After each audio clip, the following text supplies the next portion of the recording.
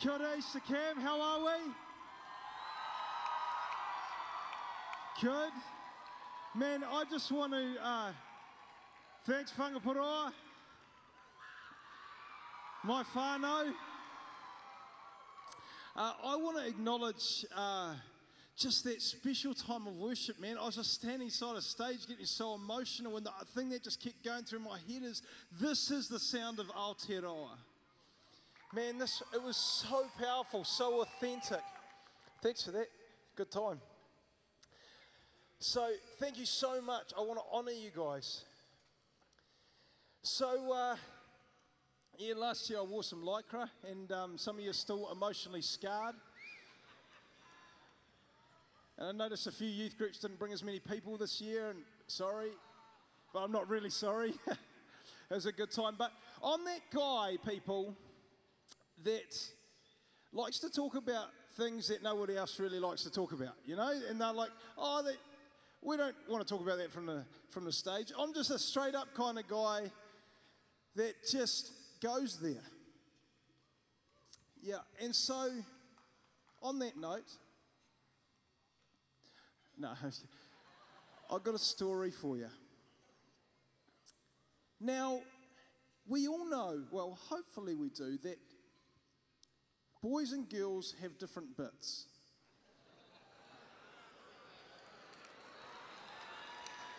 Yeah, that's right.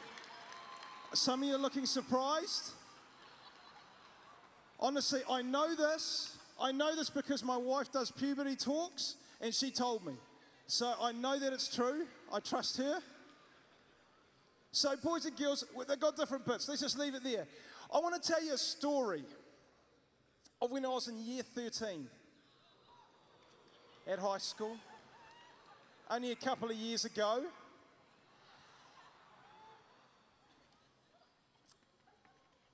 I'm smiling now, but I'll be crying when I tell the story. Uh, I woke up one morning, people. I did, believe it or not. I know. Thank you. No, I woke up one morning and I had this excruciating pain in my lower gut. It was as if I had been kicked when no bloke ever wants to be kicked. It was unbelievably painful. Now, when a bloke is kicked in the nether regions, the pain is, is pretty intense. It's kind of like this big wave that comes and it's unbearable, but then it kind of subsides and eases and goes away. But on this occasion, there was no easing of the pain. It was thick and persistent and just awful. And I got a bit worried, people. And so, but as a bloke, as a bloke, what I thought would be a good idea is, you know, oh, just, she'll be right, mate. Let's just head off to school, no problems. Let's just see how we go here. So I went off to school. Yeah, I was sitting in my, uh, in my form room and uh, the pain was just so intense. And I told a couple of my mates, they're like, bro, what's going on? I was like, mate, I don't know, but it, it hurts. And uh, they came up with some genius ideas.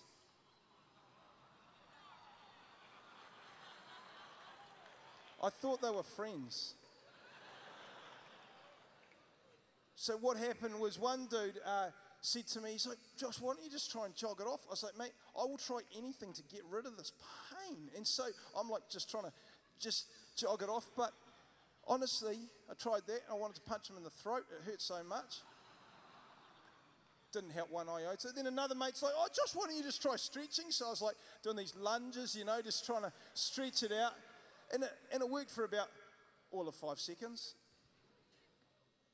And then the pain just came back. I was like, mate, this is not a good time. So I thought, right, I'm going to the doctors. I, I need some help. And so I went to the doctors, and all he said, he, he just said, You need to get to hospital. I was like, What's going on? And so I got rushed to hospital. I got sat before a surgeon. My, uh, my mum came along with me, kept me company. And uh, mums are good like that. And uh, I don't know what you're cheering about. This I was in a lot of pain, people.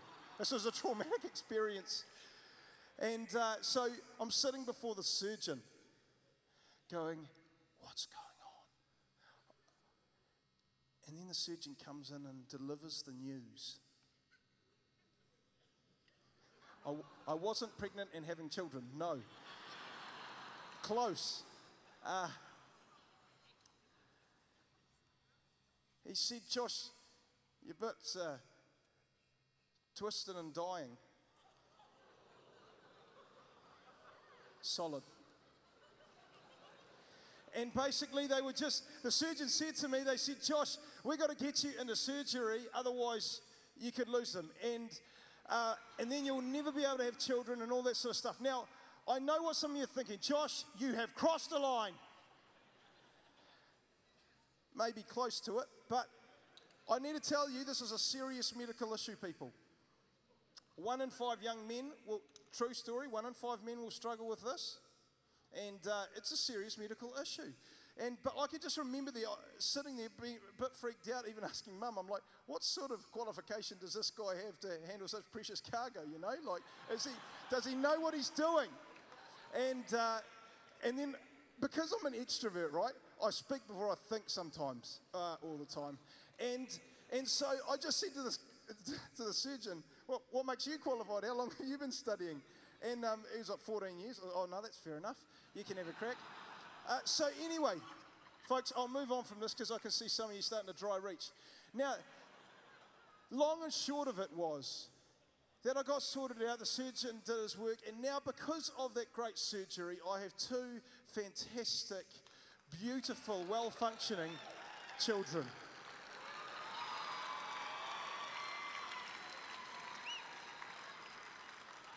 both of which couldn't come with me. The two beautiful girls left at them at home. But then there was the recovery process. It wasn't too bad, but it just took a bit of time. I had to follow the surgeon's, the surgeon's guidelines, the surgeon's rules, and he said, make sure that you you, you managed to do this, that, and the other thing. Again, I won't go into details. One of the things was make sure you wear support, supportive undies when you're playing sport. And uh, oh, oh, good call. Why am I telling you this? I don't know. I just thought it'd be a great story to kick things off with, break the ice.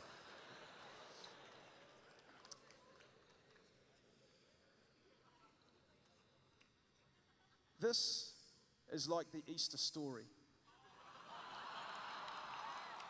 I want to tell you why. I'm not being disrespectful. I want to tell you why. Just give me a moment. Here's the deal, people that our world is twisted, numb, and dying. And Jesus came at Easter time to restore the blood flow so that we would have life.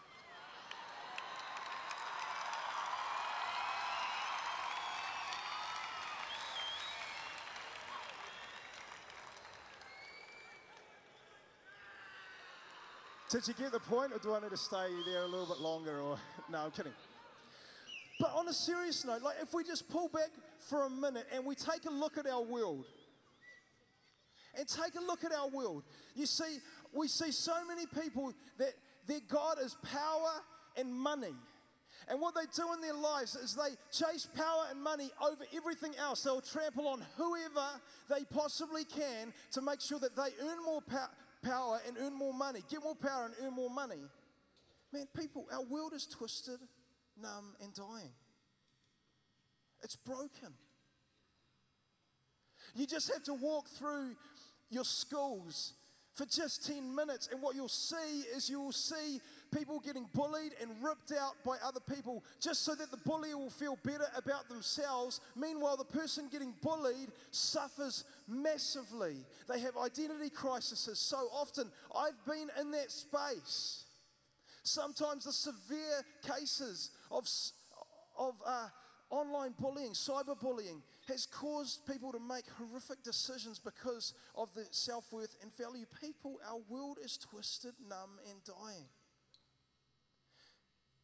You look around and you see the pain that exists because of abuse.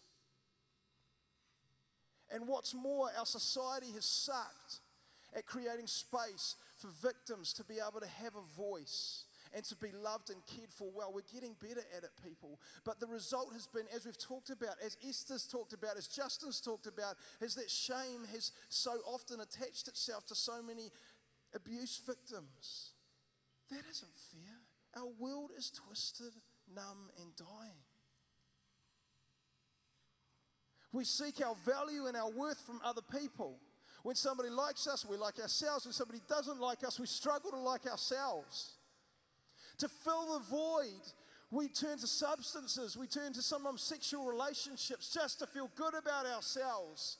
And it leaves us broken. People, this world is twisted, numb, and dying. But Jesus. But Jesus. You see, Jesus came like the great surgeon, better than any great surgeon to untwist things, to restore the blood flow, to bring life. I've got a verse, John 10 10. The story of Easter. Jesus came because of his deep love for humanity. He came because he created us in a way that we were no longer functioning in. He, he noticed that this world was twisted, numb, and dying, and he's going, That's not what I created you for. I want to bring restoration and untwist things so that you can know life rich and satisfying, John 10 10 says. So he came and he died on the cross on Friday, and today he rose again, defeating the enemy, defeating every power that could possibly hold us in a space of being twisted, numb, and dying. Every power was broken that could hold us in a way of life that we were not designed to live in. And he's come and he's declared that I have come to bring life, life abundant rich and satisfying life. Now, I looked at that verse first of all, and, and that wasn't the translation that I originally um, was reading, and it just said, I've come to give life and life abundant. And I kind of thought, what the heck does that even mean? You know, like, that sounds fantastic. You know, abundant life, but like, what does that actually mean? What does that mean for you tomorrow, the next day, the next day? It's fantastic that that life, that twisted, numb, and dying life, that, that this culture and this world sits in is, is no good for us. But, but what is Jesus restoring us to?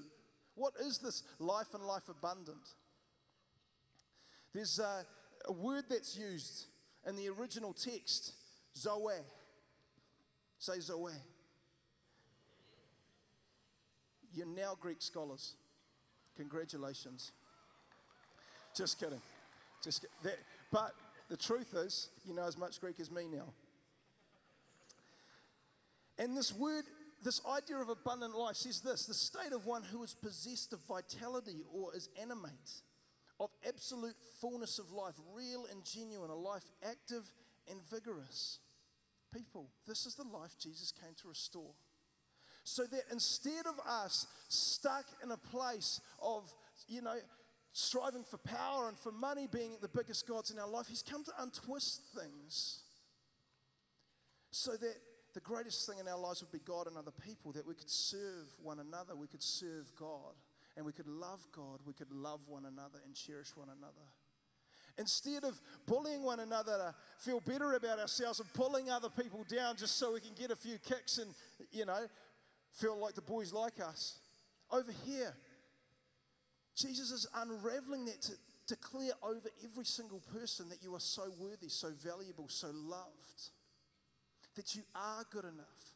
That instead of trying to seek our identity in relationships and in substance abuse, we can have a revelation and a relationship with Jesus that restores our identity so that no matter what season we go through in life, you can know that you are cherished, that you are a child of God, and that you are worth something so valuable that our God was w- prepared to die for you.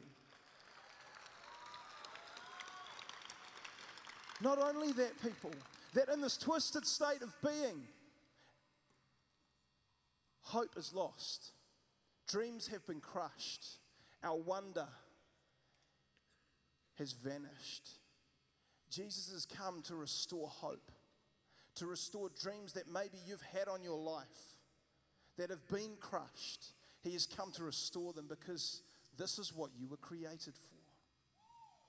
And this is where life is found.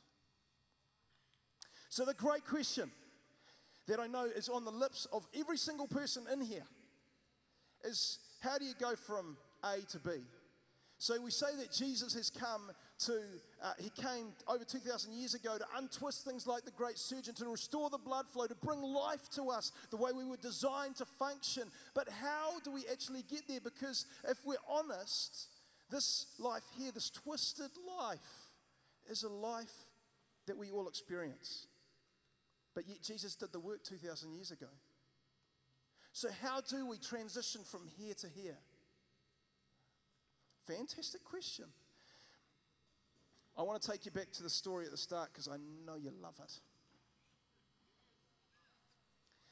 There's four things, right? So I went to Bible college and um, they told me that I needed to have three points, and that made me, you know, that's a solid sermon. I've gone four, so um, I'm not even sure if I'm saved anymore, but so um, that's a joke, people, all right? I got four quick points. This is how you transition into this life and become who God is calling you to be. First thing is this acknowledge the pain. Say, acknowledge the pain. Acknowledge the pain. Man, just like my story, there had to be a starting point, a starting point that said, man, there's just something not quite right. Something not quite right about how I'm functioning. There's something deep inside of me that just yearns for more.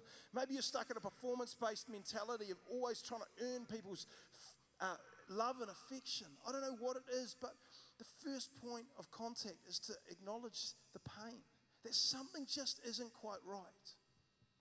The second thing, reject the lies. Say, reject the lies.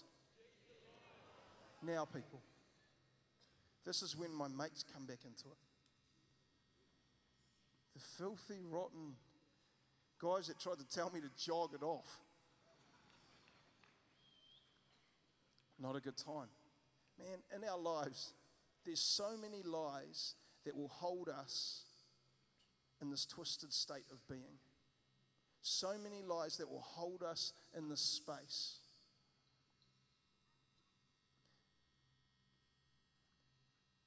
We need to acknowledge something's not right. We need to reject the lies that are holding us here. And it leads to the third thing. We need to allow Jesus to do surgery on our hearts.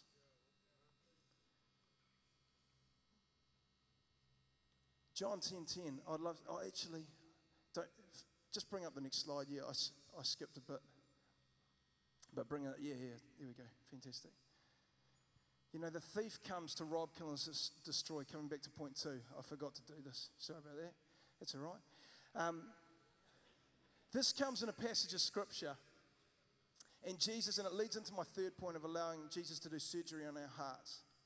This comes in a passage of scripture, and Jesus is talking uh, in parables to a bunch of people around him, and he's, and he's basically talking about uh, him being the shepherd and us being the sheep, and he was also the gatepost. He was, he's sending this message, and he, and he wraps it up with this. He said that the thief's the thief's purpose is to rob, kill, and destroy. The thief's purpose, the liar, the father of lies, wants to keep you twisted, but yet I've come that you would have life to untwist things. But here's the thing, people, you can pull it down now.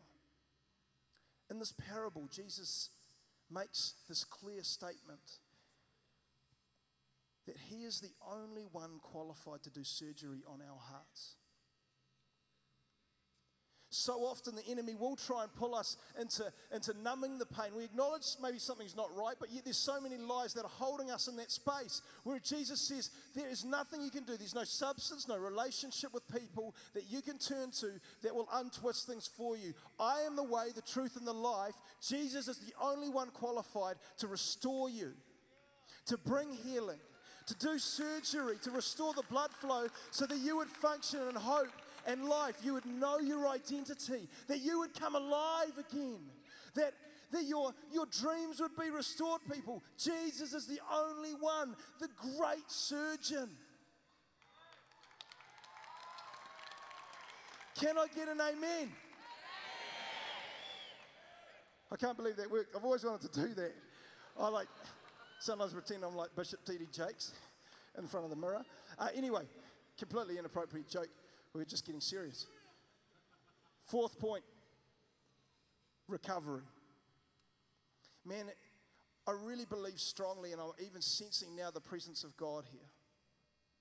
Like, Jesus, through his Spirit, is wanting to do some ministry and some surgery on some hearts tonight, to bring some healing, to untwist things, to, to rebuke some of the lies, and to bring some truth that will set you free. That's what Scripture tells us. But here's the deal, people it's not just about tonight. This untwisting process, this process of stepping into what God created you to be, is an ongoing process. That He does healing on us, yes, but we've also got to follow the recovery plan. Where's some supportive undies? Listen to what this great surgeon Jesus has said. He provides some ways, He gives us truth. We've actually got to start to follow Him, otherwise, we risk getting twisted again. And so tonight, what we're going to do is we're going to create some space for Holy Spirit, for Jesus, the great surgeon, to start some surgery on our hearts, to start to restore some brokenness. But I need to tell you that tonight's the start of the journey.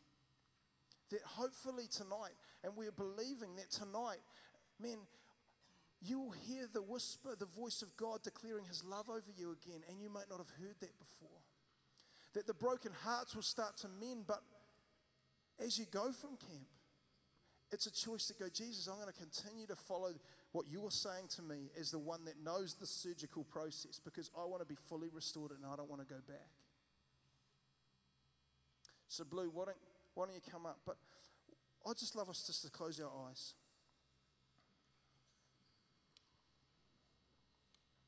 Jesus, in this moment, we want to just open our hearts to you, God. You are in the business of restoration. You are in the business of untwisting and causing the blood to flow so that we would have life the way you designed us to. But God, we want to acknowledge that in this, in this moment we all carry stuff. We all carry pain. We all carry areas in our lives where that are still a bit twisted. And so, Father, tonight we want to lay them before you asking your spirit to speak truth.